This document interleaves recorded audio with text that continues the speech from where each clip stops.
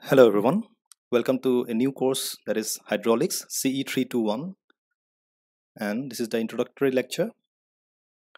So in this lecture we are basically going to go through the overall syllabus and the things that we are going to learn and we'll also briefly discuss why we need to learn the things that we are going to learn. This is the syllabus, you can download it from the official website. So we'll go over the different topics one by one. Firstly, flow in pipes. We have already learned about laminar flow in the previous semester. So in this semester, we'll also learn about turbulent flow. And because in most of the civil engineering applications, flow inside a pipe is generally turbulent. And we'll need to learn about the governing equations of turbulent flow. What are the factors that affect turbulent flow inside a pipe? Its Application can be found in various fields. For example, let's take a tank of water. So if you fit a pipe with it, then what will be the discharge through this pipe? It will depend on its length, its diameter, its roughness, and so on. So if we add another pipe which is longer and narrower, what will be the discharge through this one? Then if we add a branch pipe to the main pipe, then what will be the discharge through this branch? If we add another branch, then what will be the discharge in this branch? Whether this new branch will be having more water or less water than the previous branch and so on. So all these things we are going to learn in our subsequent lectures. In a household setup, you probably noticed that if you open the tap in bathroom, then the water in the shower decreases and all these things decreases together if somebody opens the tap in kitchen. So these are some household problems. We're going to learn how one opening one tap affects the flow in the other tap and that will require understanding of flow inside pipes and how the frictional resistance length of pipe diameter of pipe all these things affect the flow. In a large scale setup let's imagine a township or a campus or a simple neighborhood maybe. So here if we want to provide water to all these houses then we'll set up a over a tank. And from this tank we will lay out a pipe. So from this pipe we'll lay out a large pipe network which will provide water to all these houses. Now a house very close to the water tank will have very good pressure of water. However a house far away from the water tank will get less pressure and as an engineer you will have to make the decision up to how much distance can you provide water from this tank or to how many people how many houses. You'll also have to make the decision about what is the diameter of pipe to be uh, laid to a uh, to a house for a single family house you may have to provide a half an inch diameter of pipe. But for a large apartment you may have to provide a larger pipe or maybe two or three parallel pipes and so on. So these kind of situations we are going to handle after we learn about pipe flow. Then comes the next topic which is impact of jets. So when you open a tap water falls on the ground or the floor so the floor experiences some kind of force now, what will be this force? Sometimes it's not important, but in some cases, the force exerted by a flowing stream or jet of water is important. So let's take a plate and let's hit it with a jet of water. Now, the jet of water after after hitting the plate will get deflected. So in this deflection, what's happening is that the momentum of water is changing. And whenever momentum changes, we can expect some kind of force. So that force is being exerted on this plate. We'll also learn how to quantify this force based on the discharge of water, velocity of water, and so on. We'll also learn about a similar situation when the plate is inclined or when the plate is curved or when the plate itself is moving along with the jet. This kind of study is important in case of study of turbines where we try to run a turbine by hitting it with a jet of water generally. So that brings us to our next topic which is hydraulic machines. We'll mostly study about turbines and pumps in our hydraulic machines chapter.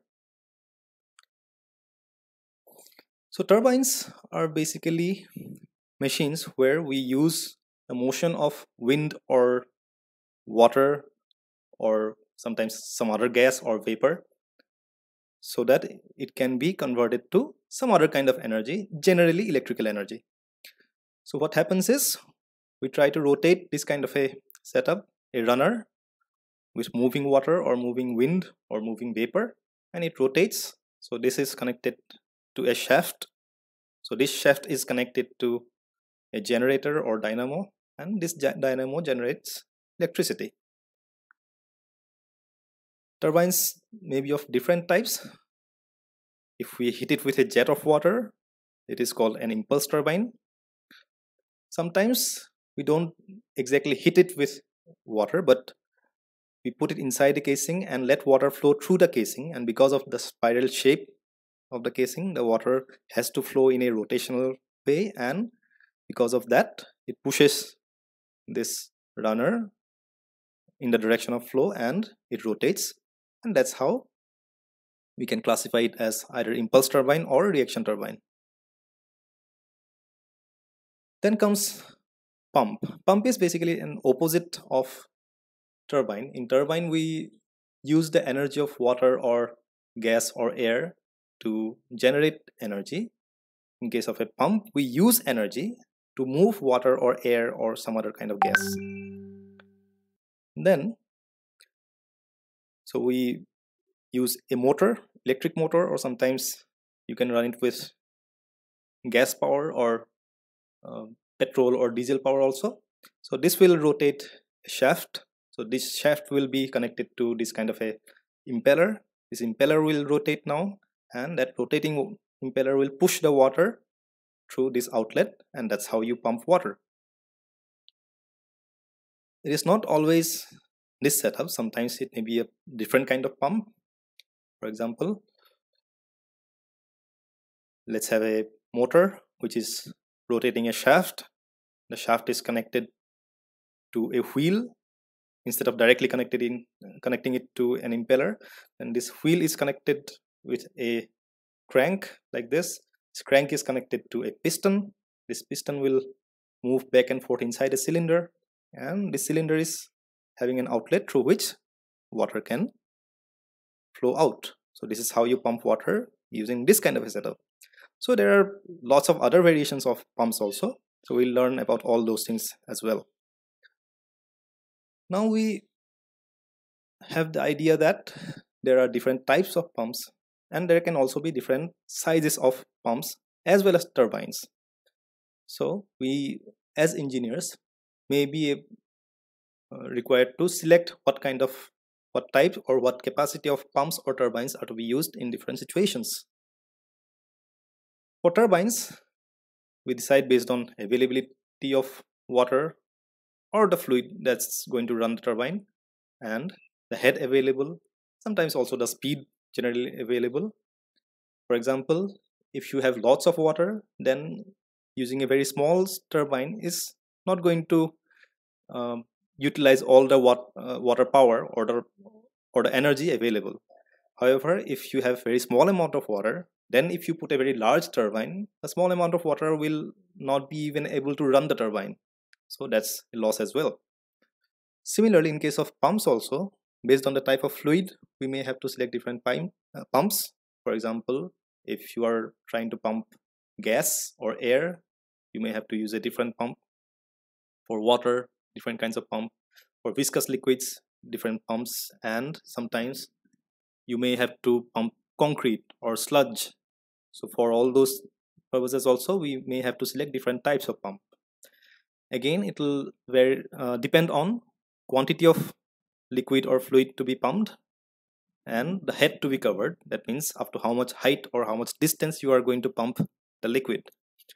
So based on all these things we'll have to select the type of pump or turbine and their sizes.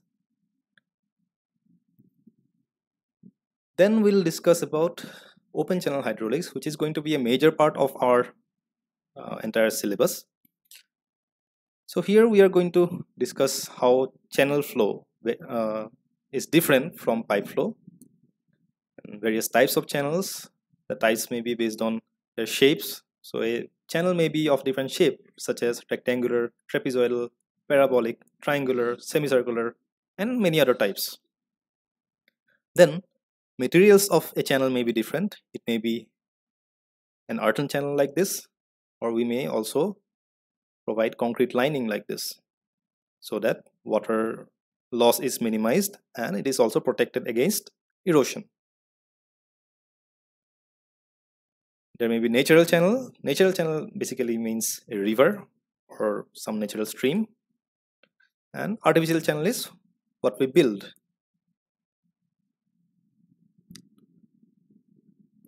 We'll discuss different types of flow in open channel. So basically unsteady and steady flow then uniform and non-uniform flow. In non-uniform flow we'll also discuss gradually varied flow versus rapidly varying flow. Gradually varied means when you see that the flow properties such as depth velocity is changing very slowly. So in a very sh short stretch we'll think that the flow is uniform but over a very large distance you will see that the depth or velocity etc are changing. Sometimes these flow parameters change very rapidly. Suppose a channel is flowing suddenly there is a fall. So in that case the flow will also vary its properties very rapidly so these are different classifications of flow then we'll also discuss about the governing equations of flow equations governing uniform flow non-uniform flow then unsteady flow. And we'll also discuss about analytical equations and empirical equations. Analytical equations are equations that you can derive with pen and paper based on the knowledge of the physical phenomena.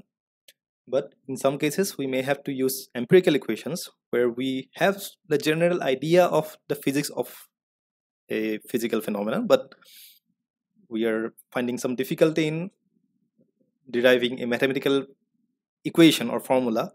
So therefore we go for experiments to find out some additional quantities. Those are called empirical equations. Then there are different applications of open channel flow. Applications uh, in terms of drainage. So a drainage application may be suppose you have a community where there are different houses. From all these houses different drains will come out and those drains will have to discharge the water or the wastewater to some other place.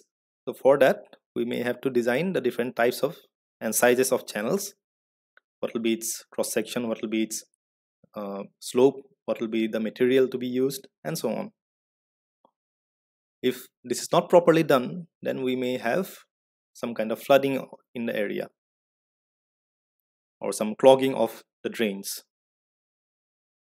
Then we may have to uh, discuss about flood and erosion control as well. So in this topic, we'll have to discuss how much water a natural channel can carry based on its geometrical cross section, its slope, its resistance and so on.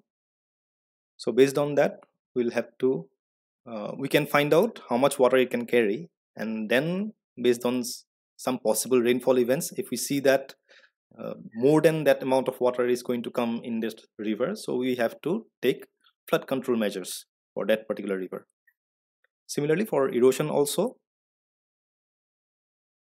uh, we have to study the cross section of the river the materials and see what kind of stresses the incoming flood is going to exert on the river bed as well as the river bank.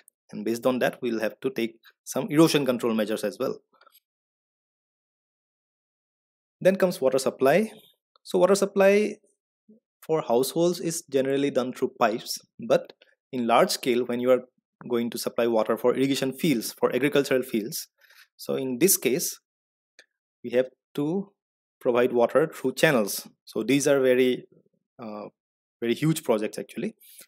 And for that the proper design of channel and the branch channels is very important because if you do not design these channels properly then you're going to lose a lot of water due to uh, infiltration or evaporation and the conveyance of water is not going to be very efficient. So this is about our open channel flow studies. Finally, we are going to touch slightly upon a topic called computational fluid dynamics. It is a topic uh, or an area of study where we use the governing equations of flow to predict the flow behavior in real life situations. So it will use the different equations such as Navier-Stokes equation or your laminar flow equations, turbulent flow equations, and open channel equations or a combination thereof.